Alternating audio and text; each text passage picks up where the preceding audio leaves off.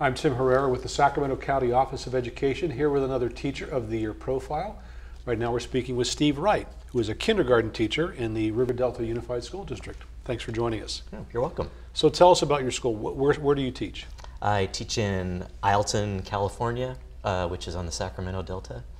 Uh, it's a small school. There's one kindergarten, one first grade, all the way up to sixth grade. Um, we have a population of about 200 students. Um, lovely, comfortable campus. Tell us about your student population and the makeup. Um, we are, I guess I would say our school is about 50 50, 50 um, English language learners um, and 50% um, English only speakers. And it's a low socioeconomic uh, school.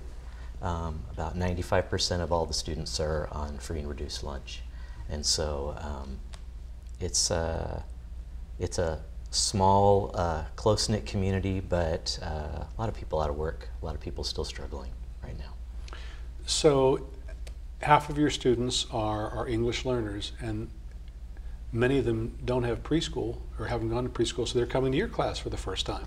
Actually, you know, I, I want to, you know, a lot of them actually have gone to preschool. It's a new program that our district has partnered with First Five, and so they've been providing preschool for all those students. So actually, what's the impact been? A huge impact. Really? Huge impact. So I mean, I would say last year is one of the first times in next this coming up school year is my 28th year teaching, but last year was one of the first times that about 90% of all of my students had been to preschool. And so a huge difference versus the other years when they had not been to preschool. So, yeah. So explain the value of preschool, especially for an English learner. Well, uh, first, one of the most important things is the students are comfortable with going to school. And they understand that these bells mean it's time to go to recess or it's time to eat or we do this and we move from the carpet to our seats and this is how I sit in my seat and this is how I sit on the carpet. Um, in addition to that, they get a lot of time being able to hear those academic conversations. And when I talk about academic conversations, it's a different conversation than you would have at your home. Your home, you're just talking about social things or what's on television. An academic conversation is centered around that vocabulary from that story we read or the meaning of this word, and they're starting to use that vocabulary. And so when they come in and they have those opportunities, suddenly their use of the English language has just gone from here to here. And so that makes a big difference. So they have confidence coming into your classroom because they've had that preschool. Right, exactly. And so, and so this, what kind of a head start does that give them? Oh, a huge head start. I mean, they come to, in the past when students hadn't been to preschool, they don't really understand what a number means, how to count. They don't know any of their letter names or sounds. Now that they have been to preschool, they come knowing how to count to 10, um, and they know about 50% of their letters, so it's a, it's a big difference. So what are some of the challenges that you face uh, as a teacher? But you know, you, you, talked about your school community being 90% um, uh, free and reduced lunch, mm -hmm, correct? Mm -hmm. What kind of challenges do you face as a result of that?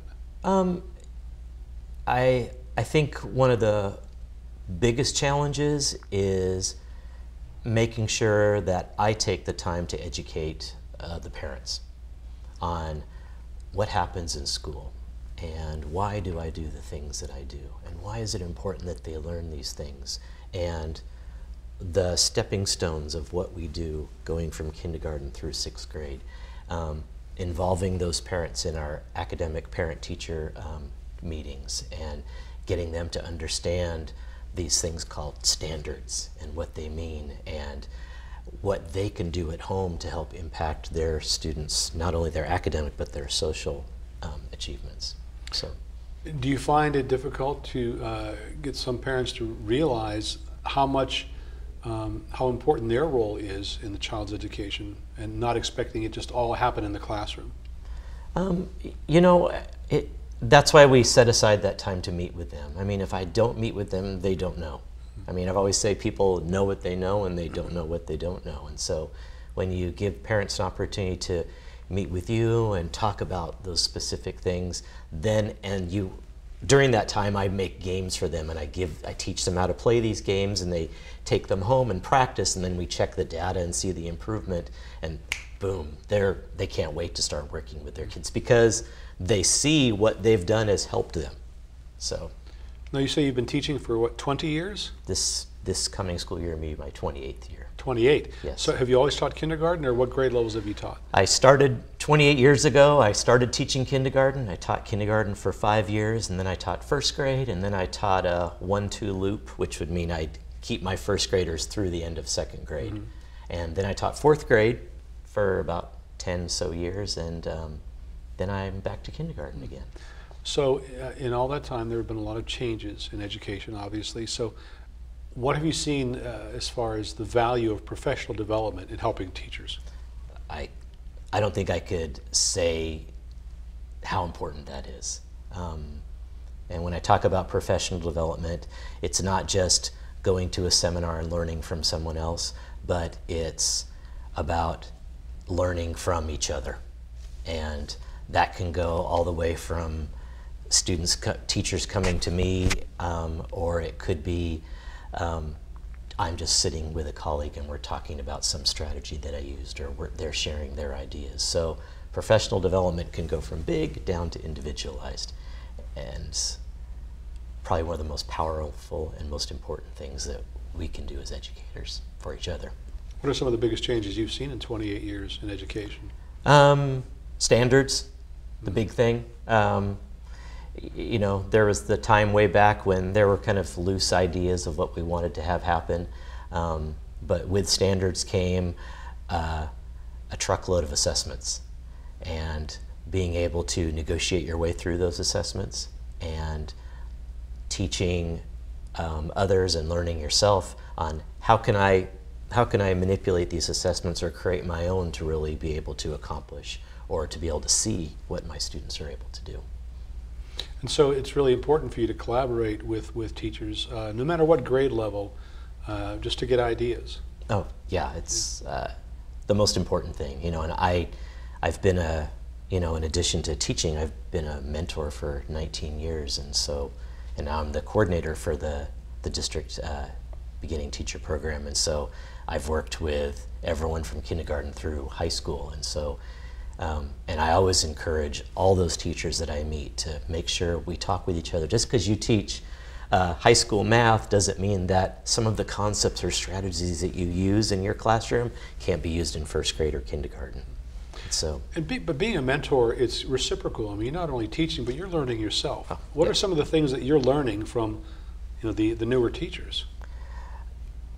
Think um, one of the things that I learned from all of the teachers is how important it is to listen and how important it is to be patient. Um, things don't happen overnight. Um, you have to nurture and mold mold those things before they really start to blossom.